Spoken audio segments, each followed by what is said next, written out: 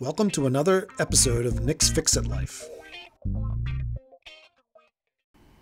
So we're going to install a wired ring doorbell that requires AC power uh, in an environment where we had a intercom system that was using DC power.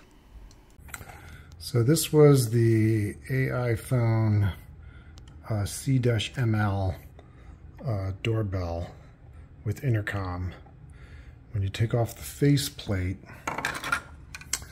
basically it had this one wire, the red and black, which was coming from the power transformer, was connected to plus and minus, these two connectors here. And then the green and yellow, which we saw out at the front door, were connected to these two connections here. So basically this was the power that had to go out to the uh, ring doorbell uh, at the front door.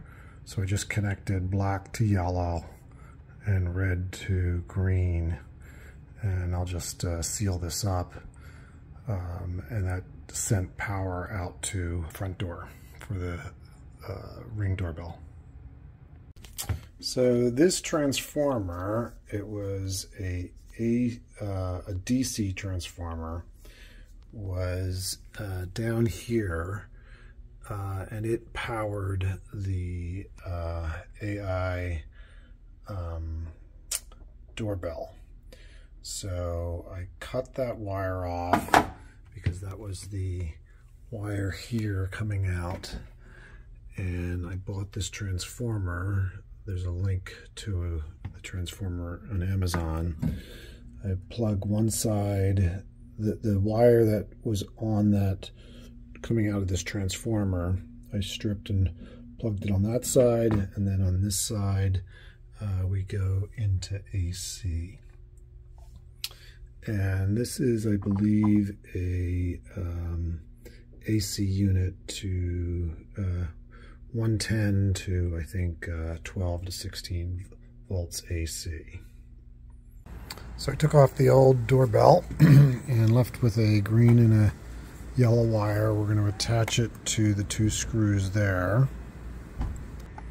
So here we have it connected and then um, we will just screw, we took the uh, faceplate off uh, and then we're going to screw, there's a hole here and a hole in the bottom. So we put in a screw up here and a screw down here and then we can put the faceplate on, just snaps on. Like that. And then uh, there's a bag with two little screws and a special tool that you put into here on the bottom to uh, secure the faceplate. So all done, fully mounted, nice and secure. looks good.